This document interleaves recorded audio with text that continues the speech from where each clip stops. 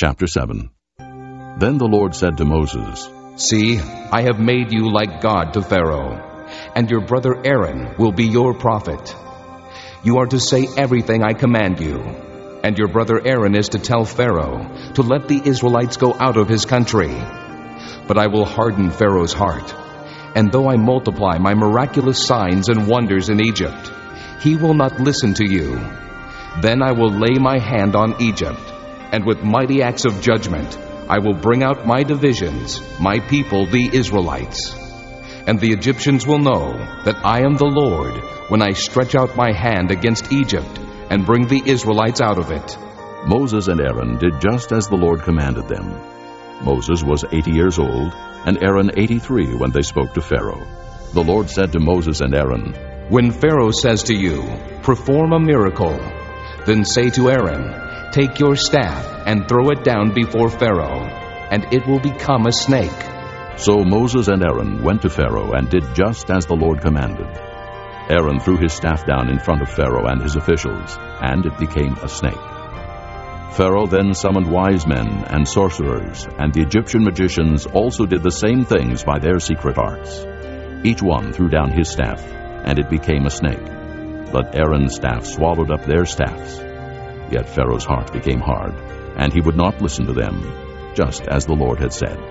Then the Lord said to Moses, Pharaoh's heart is unyielding. He refuses to let the people go. Go to Pharaoh in the morning, as he goes out to the water. Wait on the bank of the Nile to meet him, and take in your hand the staff that was changed into a snake.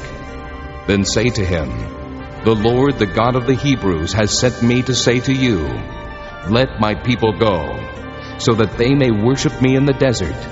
But until now, you have not listened. This is what the Lord says. By this you will know that I am the Lord.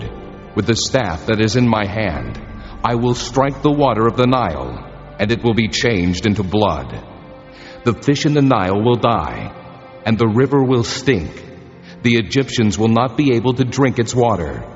The Lord said to Moses, Tell Aaron, Take your staff and stretch out your hand over the waters of Egypt, over the streams and canals, over the ponds and all the reservoirs, and they will turn to blood. Blood will be everywhere in Egypt, even in the wooden buckets and stone jars. Moses and Aaron did just as the Lord had commanded. He raised his staff in the presence of Pharaoh and his officials, and struck the water of the Nile, and all the water was changed into blood.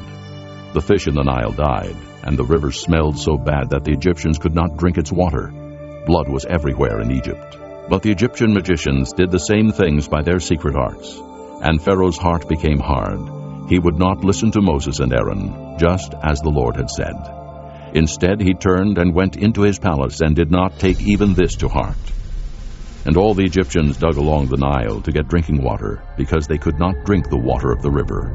Seven days passed after the Lord struck the Nile.